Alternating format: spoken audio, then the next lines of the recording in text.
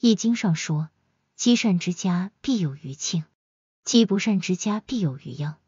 这十件事可积累福报，一定要多去做。看看你做过几件？第一件事，不说是非。爱说是非者，必是是非人。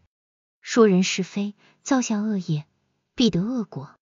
要想积累福报，首先要管住自己的嘴，不要造下口业，不要背后论人是非，少说是非话，福报自然来。第二件事，随化助人，度化众生，并非是佛一个人要做的事，而是一切众生都要去做的，无分别的去帮助一切众生，就是在积德积福。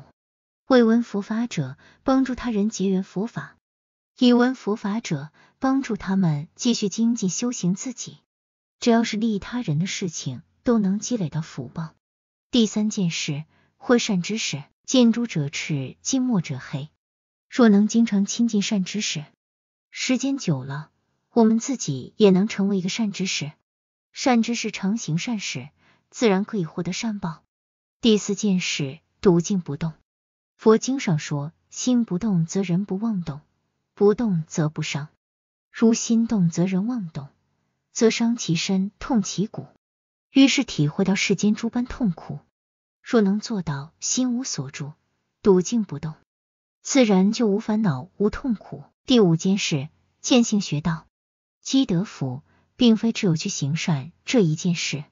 若能有人能立志学佛修道，同样也能获得福报。若能见性成佛。此人可得无量无边之功德。第六件事，除灭我慢，贪嗔痴慢疑，最损福报。若能去除我慢我痴，不贪不嗔，自然可以获得无量的福报。恭敬菩萨，恭敬众生，便可去除我慢，便可获得福报。第七件事，心行平等。若能平等对待一切众生，自可增福增慧。平等对待一切众生。见一切众生皆与诸佛菩萨无异，皆与自己的父母亲友无异，慈悲心自然升起，福报将不求而自来。第八件事，广学佛法，学习佛法，增长智慧，破除无明，这也是一件积德福报的事情。福报和智慧二者相辅相成，若无智慧，便无福报；若无福报，便无智慧。智慧高了。自然会去修复行善，福报大了，智慧自然会不断增长。第九件事，不轻未学，学佛人不要轻视未学佛之人。很多人学佛后，喜欢用佛法去要求他人，这样其实也是损福的行为。学佛要严于律己，宽以待人，不要瞧不起任何人，不要认为自己学佛了就很了不起，总是看他人不顺眼，这样。